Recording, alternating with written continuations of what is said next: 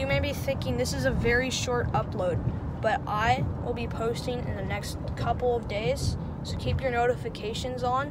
And this story is about a little girl that we met at altitude, and she was six years old. Remember that. Enjoy.